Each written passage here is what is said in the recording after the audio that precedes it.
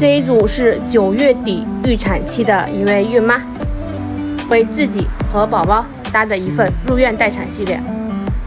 孕妈这个包被准备了两件，一个是厚的，一个是中厚的。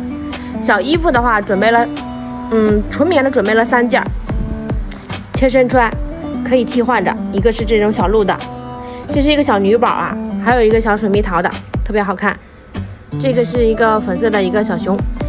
这个是空气棉的半背衣，准备了两件，粉粉嫩嫩的哈，无缝拼接，有一点有一丢丢的那个小夹层，包被儿一个厚一个中厚。